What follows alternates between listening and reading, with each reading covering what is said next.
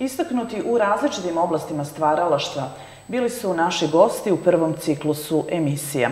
Među njima su bili muzičar Zoran Kiki Lesendrić, književnica Mirjana Bobić-Mojsilović, glumica Iva Štrljić, pevačica Neda Ukraden, deči pisac Uroš Petrović i mnogi drugi.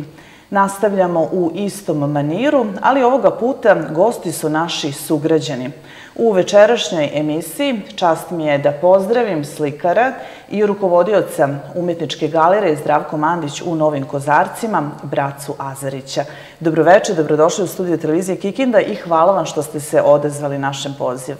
Dobroveče i vama hvala što ste me pozvali. Recite nam na samom početku, kako je tekao vaš slikarski put? Kada ste i kako počeli da slikate? I samo pre nego što čujemo, e, e, naravno, vašu, vašu životnu e, priču i više o vašem e, likovnom putu, da kažemo i gledalcima da ovo što imaju priliku da gledaju u našem studiju, ove predivne slike, da su naravno vaših ruku i vašeg talenta i rada delo, a pričat ćemo i o njima, ali evo na početku da se osvrnemo na taj vaš slikarski put koji je, boga mi, dug više decenija. Da, da, jeste. Ovaj, što je interesantno, e, kod mene nisam počeo u Kozarcima, gde sam rođen, e, taj slikarski put, nego u Kragujevcu. E, 70. Godina sam otišao u Kragujevac, tamo sam radio u zastavi i tamo u druženju sa tim slikarima Kragujevačkim otkrio svoj talent. Jer jako je važno ti dodiri sa umetnicima da bi se otkrio taj talent. Ja znam jednom priliku, imao sam izložbu ovdje u Kikindu Teri i Zdravko Mandić trebao je da otvori, ja sam ga pozvao i Zdravko je i došao. I on mene čudi i se kaže, brat, otkud ti da u Kozarcima počeš da slikaš? Pa ja kažem, Zdravko, ja sam živeo u Kragujevcu, tamo u dodiru sa tim kragujevačkim slikarima, otkrio svoj talent. E onda je njemu bilo jasno da to, jer u Kozarcima nisam imao dodira sa umetnicima, jer tamo ipak nije bilo tad u to vreme, na uštrb sad kako galerija Zdravko Mandić radi, da tu može da dosta talenata otkrije, ne samo u Kozarcima, nego i šire u ovom severno-banatskom okruženju naš, bar ta e, galerija funkcioniše i lakše je ipak bilo nego u naše vreme, ono moje kad sam ja bio u Kozarcima. Međutim, u Kragujevcu, tamo u druženju s tim slikarima, otkrio sam svoj talent i to je bilo isto s slučajno. slučajem. Ono, e, verujem da vi znate ovaj, ti samački hoteli, kako je to bilo, i tu je stano u blizu te zgrade jedan e, Kragujevčan koji studirao u Beograd. I mi ono uveče, momci, kako smo šetali, i on kako je tako slikao, mi prolazimo kraj tog njegova, a on je spremao ispita, ispit pa mu je trebalo jedno deset slika da spremi, a i on je kasnio za sutra. I onda mi onako, kako smo malo popili, momci, ono, i ovaj, ja sam tad već osjetio, kako on slikao, mene su njegove te slike inspirisane. Ja kažem, ja bi deset puta to bolje od tebe uradio. On meni kaže, ajde da prvo, njemu, jer ono se mučio. Znaš, to da, ovo da izme, na početku je to bilo njegovog studiranja. Ja kad sam uzeo to tad, valjda sam i slobodan bio, tad sam već imao ove poteze.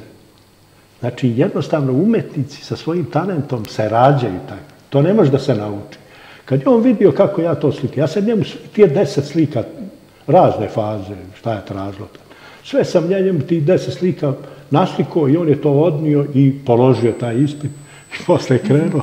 Posle morao sam stalno nešto tako da, da ipak ti profesori vide taj kontinuitet njegovog studiranja. Međutim, meni je to opet odgovaralo zbog eh, mog slikarstva i tamo gdje smo mi u druženju, tom Kragujevačkom, gdje smo mi slikari pri zastavi, tako da sam tu otkrio taj, i tu je krenuo. Međutim, ima neka istina, još to, to ja sad tek kad tako sagledavam taj moj period umetnički, Ja sam tad slikao to i imao sam taj osjećaj sve. Međutim, tek kad sam se vratio u Kozarce, znači posle deset godina kad sam se vratio u Zavičaj, i ta duhovna veza umetnika sa Zavičajem je jako važna. Jer najlepše se čovek osjeća tamo gde je rođen. Tu su osjećanja najjača. Tu. Tad sam ja jednostavno čudio sa nekim svojim slikama, kao da je neki drugi čovek u meni to slika. Ja, na primjer, slikam, i to je najviše bilo u Livnici. Ja sam se posle zaposlio u Livnici, tamo u druženju s tim e, livničkim slikarima, tu je bio i Mičik Nandor i ovi naši pri Kudu Livac, mi smo se tu udružili. I onda ja sam neke slike čudio se samo o sebi kako to... Iz ranijeg perioda ili iz tadašnjeg? Tada, ne, iz tog vremena. Iz tadašnjeg tog vremena, jer to je bilo 90. i 90. To je bilo, ne, 89. godine. Ta prelomna. Mhm. Kod svakog umetnika ima taj prelomni, sem ovog mog talenta, da li, e, da li će da ide dalje, taj umetnički, kao na primjer sad, što slikam ove posvećene koroni, jer ova, sad ovo vreme je toliko čoveka izbacilo iz takta normalno. Znači, sad tek vidimo da je to zdravstvo važno. Mm -hmm. Jako važno. Sad, sad neke stvari se malo raščišćavaju i u kulturi, svugde. Ljudi više sad cene neka dobra stvaralaštva. Tako da je taj moj početak bio posle u Livnici, kad sam se vratio, u druženju sa ovim našim kikinskim slikarima i pesnicima. Najviše sam, na primjer, na mene je najviše e, utisak ostavio Dobrivoj Vujin, pesnik. Mm -hmm. Naš ovde kikinski. Žao mi je samo što imam osjećaj da, da je pre malo više se vodilo računa o stvaraocima, umetnicima u ono vreme naše, kad smo mlađi bili, nego sad, sad je to nekako da li je i ekonomija drugčija i sve je drugčije, tako da... Eto, zanimljiva je ta priča da kažete da je zapravo i vaše vreme provedeno u Livnici e, zaslužno također i za jednu vašu slikarsku fazu, pa- što je zaista zanimljivo i gotovo nezamislivo za nekog ko danas radi u nekoj fabrici. Jeste, pa, e, na primjer, e, mi tamo kud Livac je funkcionisao, lepo tu su bili pesnici, recitatori, imali smo i folklorne sekcije, sve je to lepo postojalo i ljudi dakle, su... samo za one koji ne znaju da kažemo da je to bilo kulturno-umetničko društvo koje je funkcionisalo. Da, pri Livnici. Imala i Toza, i Toza imala svoje, i Bana, tad bio IPP Bana, i oni su imali isto... To je, e, ta udruženja su se i družila i to su bile lepe, lepa vremena. Međutim, ovo moje stvaralaštvo je najviše ovaj, doprinilo to u Livnici zato što sam ja kao modela imao materijal. Jer, jer mnogo je skupe te boje, pa e, rambovi, to, to je trebalo izdržati taj ritam rada u to vreme slikarskog. Onda ja sam tamo imao sve i onda bar ovaj ekspresionizam, kako sam ja posle slikao, da slika bude gotova u meni preslikanja, a da za vreme slikanja ne mislim o, o, o tome šta slika. Jer tu ta podsvest dođe do izražaja, ta eksplozija, taj trans, onda i boje budu lepe, kad ne misliš o bojama, one same dolaze, da, da posle... A kad ste onda slikali u Livnici, u nekoj pauzi? A to slikali, ja sad da ispričam, to je možda malo neverovatno, a neki koji me poznaju iz Livnice znaju to. Naprimjer, pauza za ručak, pola sata, slika je gotova u meni preslikanja i sad odemo na ručak, I posle ručka ja trčim, znači imam još, zavisi koje vreme potrošim da ručak, znači ostane jedno 15 minuta, meni je to dovoljno taj ekspresionistički izraz da slika. A slika je već gotova u meni, boje su sve spremne. I vi je prenesete na platno. Ja prenesem na platno i da se osuši. Ovi moji radnici gledaju oko mene, su, ima publika je bila uvek tu. I gotovo. Neki put malo zakasnim, šef upadne, znaš, I šta ja kaže? To, ja to ne, kobajage sklanjam i te što osobe. A imao sam stvarno podršku tamo ljudi u, u Livnici, tako da je to jedno deseta godina išlo u jednom baš pravom radu, umetničkom, što je mene posle zadržalo, zadržalo u umetnosti. I naravno ovamo porodica, isto podrška velika supruge i praće. I, jer mnoge izložbe u Beogradu, što sam ja imao, to mi je sređivo ovaj brat u Beogradu, ovaj, on je tamo poznavao te novinare, umetnike, mm -hmm. Ostvarivao je kontakte. On je u Skadarli tamo bio i Momu Kapora i ove sve.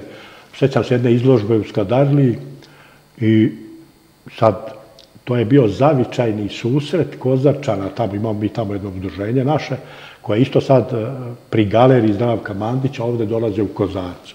Sad su baš uradili jednu lepu, onaj, kako se to kaže, jednu sliku upravnog odbora njihov, to smo stavili u tu spomen sobu u Kozarcu.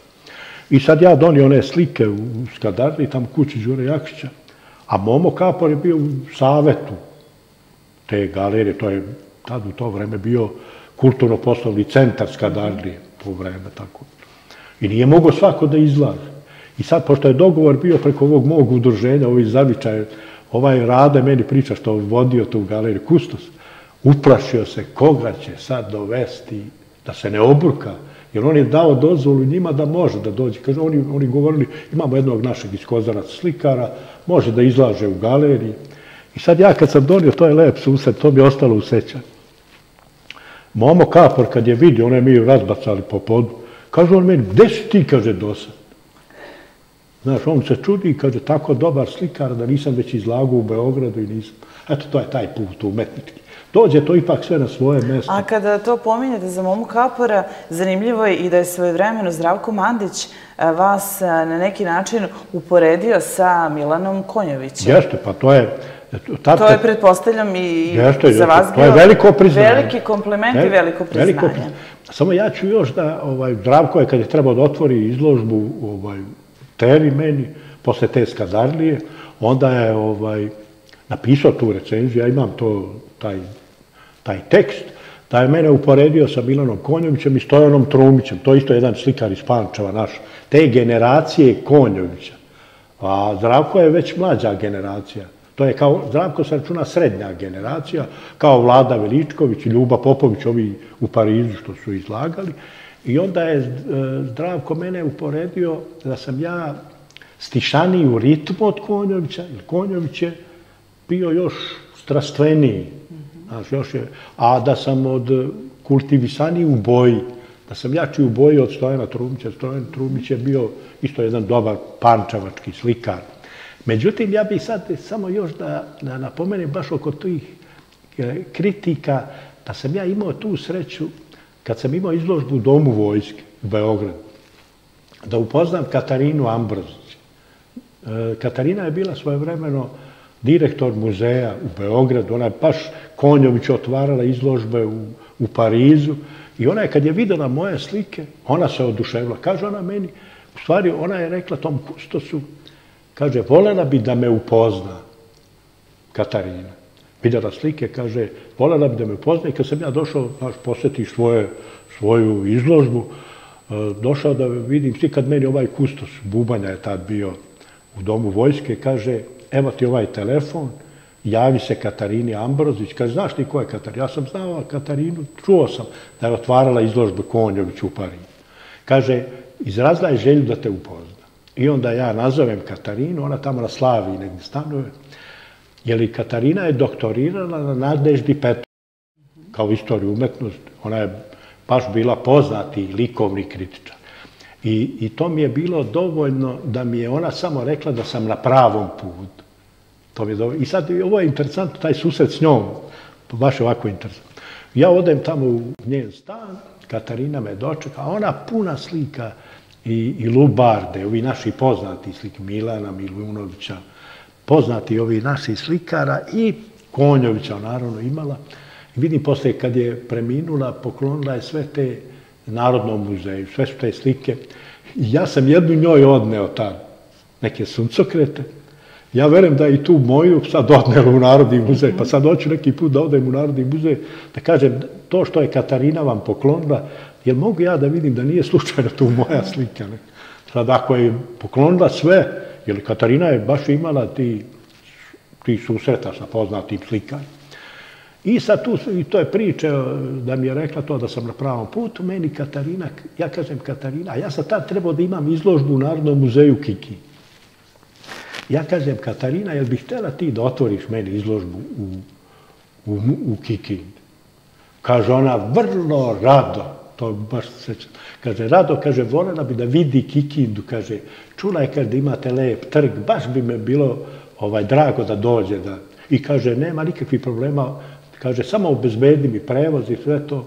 I ja to posle zovem, nije prošlo jedno, pa nije tri meseca, baš je bilo zimsko do Katarina preminula.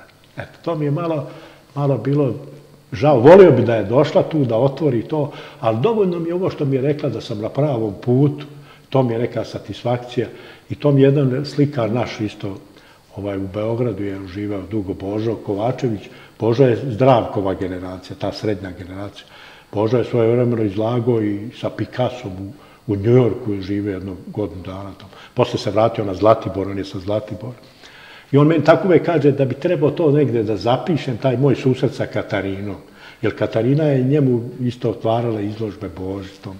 E to su ti susreti. A braco, koliko vam znače takve e, reči, podrške od ljudi prosto koji, su, koji jesu iz branše i koji su svakako priznati i čija reč imate ženu? Jeste, to mnogo znači. Mnogo znači, onda rasteretiš se.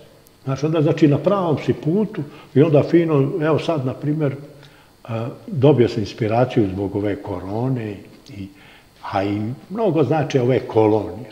Tu se susrećemo sa raznim slikarima, raznim pravicima. I vi ste zaista učestvovali na velikom broju likovnih kolonija. I to humanitarnih kolonija, dosta slika je ostalo. Mislim da su naši gledalci imali priliku više puta i da se uvere u to, s obzirom na to da naša televizija i zabeleži likovne kolonije u Kikindi i u okolini i uvek ste vi deo tih likovnih kolonija. Ne, ja se rado odazvo. Evo sad je ovo, ova u Čigri je bila, ova deca, ovaj, e, ometena u razvoju, oni su prave koloniju već, ovo ja je ovo treća kolonija, četvrta. I vi uvek učestvujete? I učestvujem uvek, Galerija Zdravka Mandića i umetnici, svi naši članovi učestvuju, nego ja bi više voleo da to bude za svu decu kikinsku.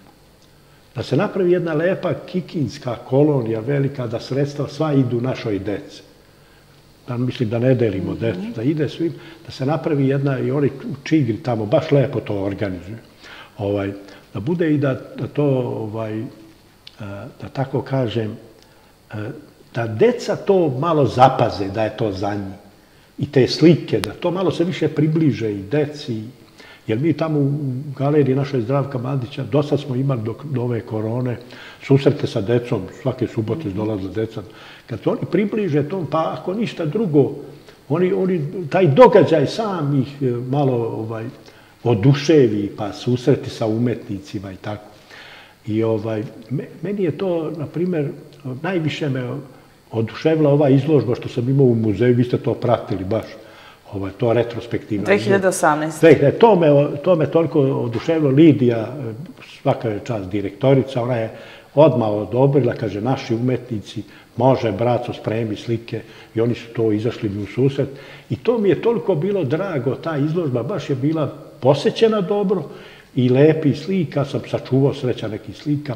Tako da je bila ta izložba i u svom kraju, u našem. Naravno. I to je bila retrospektiva vašeg e, rada više od 30 godina. Jeste, jeste, više, više. I sad, drago mi što sam sačuvao te slike. Jer, jer u svom mestu je teško biti ovaj... Tako je, kažu, je... kažu ljudi, niko nije prorok u svom pa da, selu. Pa da, jer oni kaže braca, znaš, to, to olako Ali vi jeste neko ko je zaista veoma cenjen i poštovan u svojoj jeste... sredinu, to se mora reći, mora ne, se priznati. Ne, znaš šta, ima tu nešto da ljudi, aj sad onaj period uh, vremena, onog livnice i naših fabrika i to, koje je meni otvorilo put, tako kažem, pomoglo, Međutim, sad, ovaj, sad je, e, ljudi, u ovo vreme, ljudi shvataju pravu umetnost.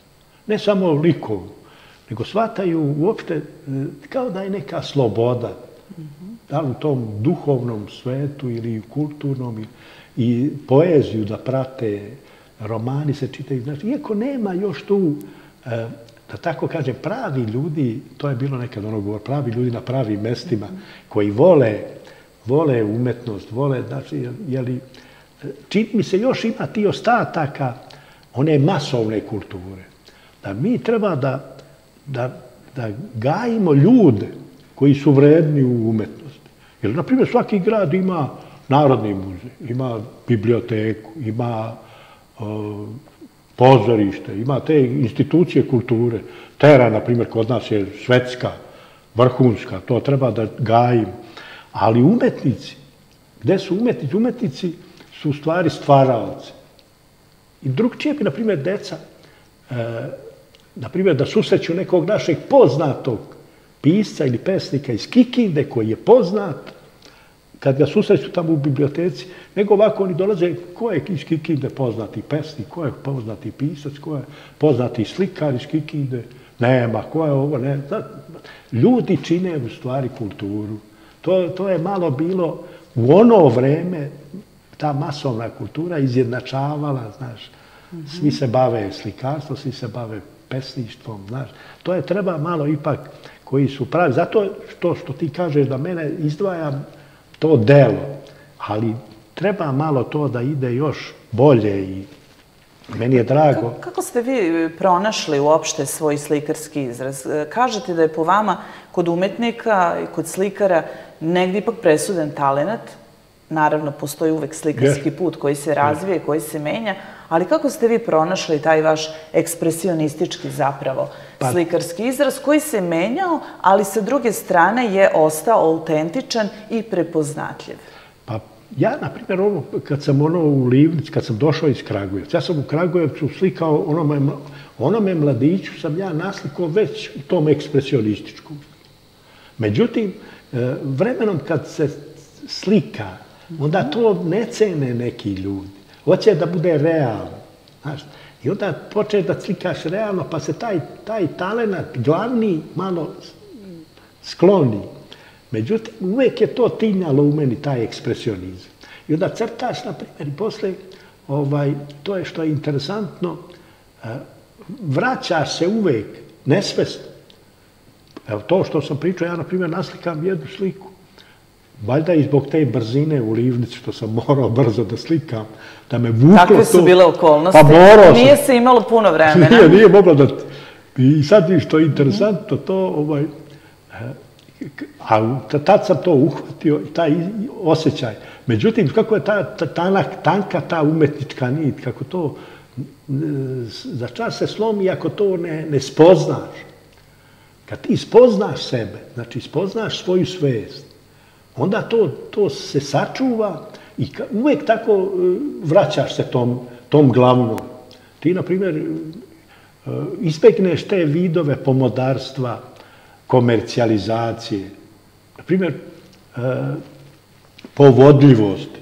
Na primjer, sad e, te instalacije su moderne, ta tehnologija je napredovala, sad se ona umeša u umetnost. To sve treba da se izbegne da bi se sačuvao taj svoj osjećaj. Jer ti faktički slici daješ dušu, što je u suštini i zadatak umetnosti, da ti slici daješ dušu koja se prenosi na posmatraču. Mm -hmm. Jer u ovoj eri tehnologije, kako je tehnologija svugde prisutna, ja se bojim sad ono što kažu, da čovek ne postane vremenom mašina, da nema umetnosti, da, uh, jeli, imam takav osjećaj da je sad To sad ovo kad je i korona, ja to ne volim da spominjem koronu, ali eto tako je, kako je.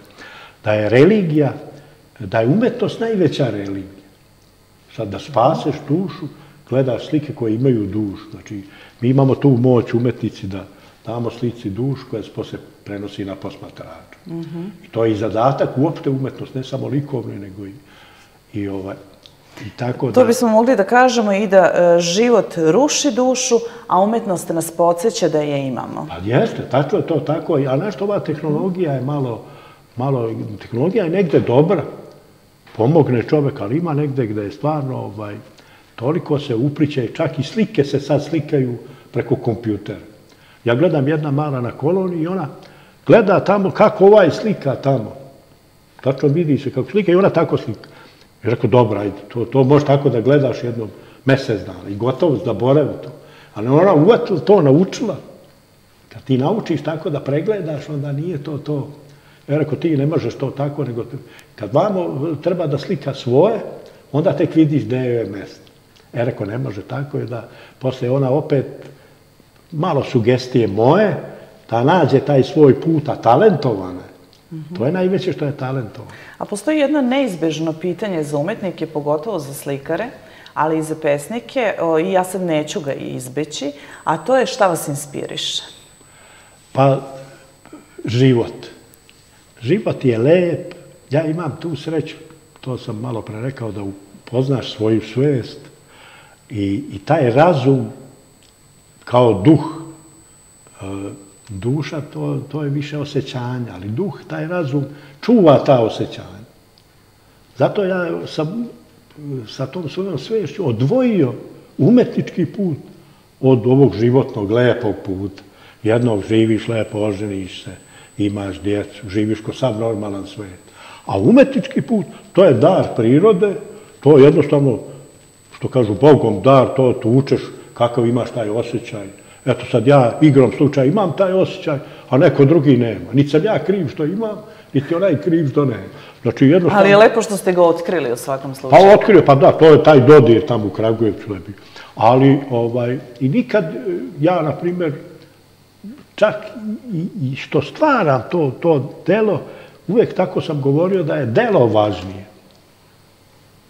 Delo je važnije nego ja. Ne želite da vi idete ispred tog yes, dela? Jes, delo, delo treba da ide ispred i ono je glavno... Nego ja, želite u stvari da govorite kroz vaše slike yes, i da to bude yes, ono... Da, jeli dela, slike su glavne. I sad znam, jednom imam izložbu i sad ajde ja nešto da kažem. A to je bilo, sad ja tako imam običaj da na početku moje karijere, ja to kad pod znakom navoda kažem karijere, znaš, malo to dođe. Na početku moje karijere, i sad oni, da ja nešto govorim, kažem nešto slikam, sad meni to dođe malo nezgodno, znaš, ono bilo iz početka mi je malo bilo nezgodno. Ja kažem, nemojte da ja, da snimate mene, snimajte slike. Mm -hmm. Slike su najvažnije. Tako da su oni to shvatili da, jer u suštini, to je to što ja govorim da se odvoji umetnički pod životu. Evo sad ja, na primjer, ne slikam. Ja nisam sad slikam. Znači, slikaš samo kad si u onom transu, kad slikaš, tadi baciš četke. Postoji znači da je umetnički trans, definitivno. Pa da, pa baciš te četke i gotovo. Kad sada, postojite samo vi i to platno? Jeste. Belo platno i ti sad slikaš i gotovo. To je taj osjećaj. A da li znate koliko ste do sada naslikali slika? Pa, nisam nikad brojao koliko sam naslikao, ali ja mislim negde oko 500 sam naslikao manje, više, uglavnom oko 500. Jeli, treba ipak imati materijal, skupe ste boje, skupo je sve. Ovaj, treba imati materijala. Ja A prodajete vaše slike i u zemlji i u inostranstvu? Pa, prodaje se, pre se više prodavalo narod, je bilo je bolje i vreme i to. A sad više ba u inostranstvu imam tamo ove moje rodbine, oni pokupem jedno peše slika, pa prodaje. Meni je to dovoljno da uzem taj materijal i da, te, da poklopim te moje troškove. I, uh -huh. Jer nije sva sreća ni to materijalno. Više treba nam, a našto sad u ovoj, ovoj eri, ove korone, više duhovnog bogatstva. Da ljudi budu hrabri, jednostavno, da budu veseli. Da... Jeste ono da je teško, ali da ne shvataju ipak, ja uvijek imam to ponavljam, život uopšte ozbiljno. Jer čak i zdravlje to ne treba shvatati ozbiljno, jer kako je ko skrojen, što kažu, kak genetika ta, ti se čuvaš malo da se ne prehladiš, da i tako to, da ne jedeš mnogo i šta, da čuvaš malo skromnost u svemu ovaj, i da, da ne svata se mnogo ozbiljno. Znaš, ljudi mnogo ozbiljno shvataju da tu dođe nerviranje. Mislite u stvari da nasvataju toliko ozbiljno da bi se nervirali zbog pa, toga, da, pa, pa da to onda ima kontraefekat, ali u svakom slučaju je, moramo je. voditi računa o zdravlju da, i to je nešto što je Jel ono, na primjer, šta je važno? Osnova. Nije ništa važno. Pa evo ove moje slike, ja to slikam iz ljubavi ti slikaš fino što voliš, zadovoljstvo. Ne slikam iz neke materijalne, da ja sad, Bože go, prosto, aj sad lepo ono proda se nešto. Ali nije to toliko bitno. Da ja, a i, i još ovo što je, i, i to ne shvatam ozbiljno. Jer to ako, ako shvatiš ozbiljno, onda, onda nekako te to povuče ta ozbiljnost. Nema tu igre, tu treba da igra.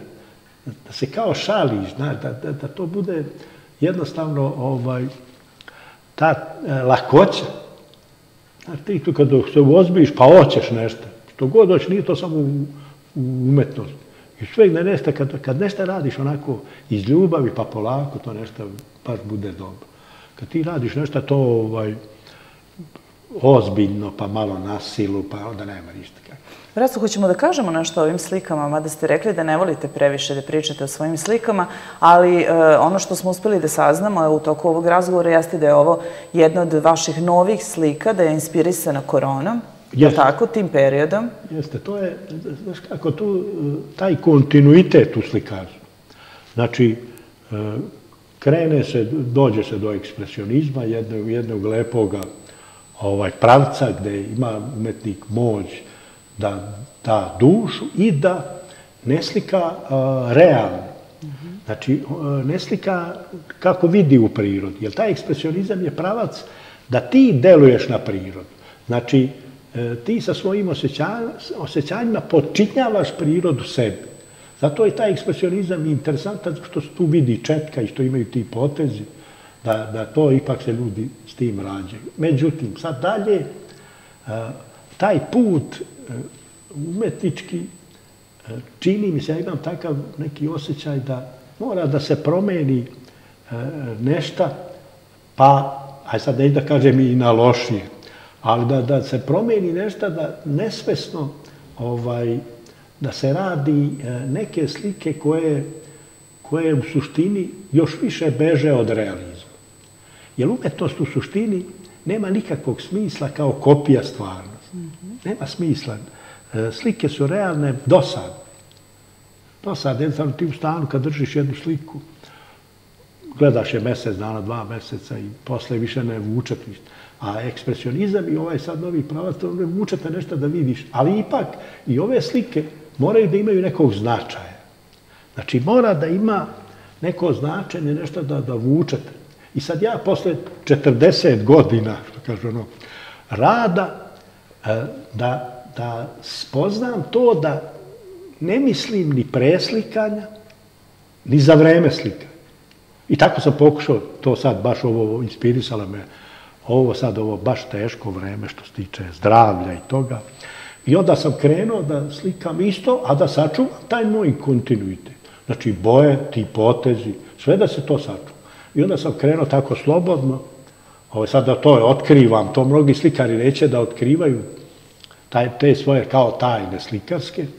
Ovaj, I onda sam krenuo jednostavno i sad ako ima nešto od, to, od tih mojih iskustva od 40 godina, znači ako ima nešto, onda to će se pokazati. I to se pokazalo. pokazalo. I sad ovaj, imam već, naslikao sam 14, mislim, slika iz ovoga, tako kažem, ovaj, iz te faze. Tog ciklusa. Da, da, iz te koron, posvećeno koroni ovaj, i neće li proći to, to da se spasu ljudi. Tako da tu vidim, tu mi sad ispada svašta, tako moram baš tako da kažem. Na tim slikama ima i ljudi, ima svega tu. Jer to je ta podsvest. I veliko je sad, kod mene, šta se sad javlja. E, ja jedva čekam da počnem da slikam. Pa ono mi je, znači morao sam da slika bude u meni gotova pre, pa onda kad moraš da je slikaš, da je nastavljaš, to je ti pejzaži. Ovaj. A ovde jedva čekam zato što ne znam šta će ispasti.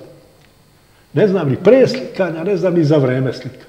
I nećete mi verovati, ja kad, se, kad završim sliku, isto taj trans, isto sve, okrećem je. Gde je najlepša, -hmm. najbolja i onda ne mogu neki put ni sam, pa zovem suprugu. Ona mi je prvi kritičar šta se tebi najviše sviđa? Ona kaže, okrene ovako, ja vičem, okrene onako. Mm -hmm. I sin to dođe i tako da. Na kraju, ovaj, ovaj, evo, tako te slike, ispred tu imaju ljudi, ima tu. I sad je to, zašto su sad slike, da nije kopija stvarnosti. Ti u stanu, kad imaš sliku, ti hoćeš stalno da je gledaš. I to što sam malo pre rekao, ta, da je umetnost religija najveća.